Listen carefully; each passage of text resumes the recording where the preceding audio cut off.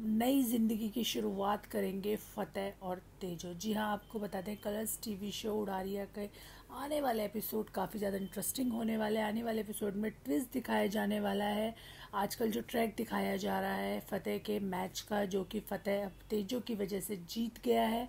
वहीं आपको बताते जब फ़तेह घर आते हैं तो उसका काफ़ी अच्छे से स्वागत किया जाता है। लेकिन जो उनकी जो मम्मी होती है, वो तेजो को काफ़ी ज़्यादा डांटती है, काफ़ी सुनाती है। लेकिन तेजो जो है, चुपचाप सुन लेती है। वहीं आपको बता दें, आने वाले एपिसोड में जो है, फ़तेह और तेजो के बीच नज़दीकियाँ दिखाई जाएँगी। दोनों के बीच में नई ज़िंदगी की शुरुआत करते दोनों नज़र आने वाले फ़तेह को समझ आ जाएगा तेजो की अच्छाई का और वहीं जो है फ़तेह को ये पता चल जाएगा कि तेजो की वजह से तो कुछ नहीं हुआ है। तेजो जी तो बस सबसे बहुत प्यार करती हैं। कोई जैसे उनको डांट भी रहा है तो वो कुछ नहीं बोलती हैं तो वहीं फ़तेह जो है, थोड़ा सोचेगा। फ़तेह फिर जो है, फ़तेह के दिमाग में आएगा कि मेरे को अपने प्यार का सेक्रीफाइस कर कर अपनी ज़िंदगी में आगे बढ़ना ही होगा। फ़तेह अपनी ज़िंदगी की सच्चाई को जान लेगा कि उसका फ्यूचर जो है, वो तेजों के साथ ही है। लेकिन जैस्मिन क्या ऐसा होने देगी, ये देखना काफ़ी ज़्यादा इंटरेस्टिंग होगा।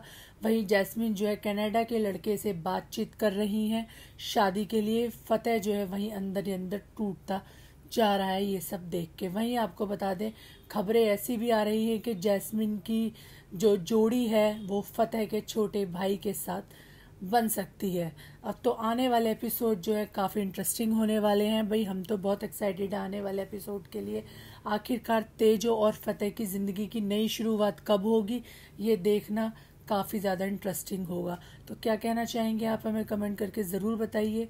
साथ ही हमारे चैनल को सब्सक्राइब ज़रूर करिए।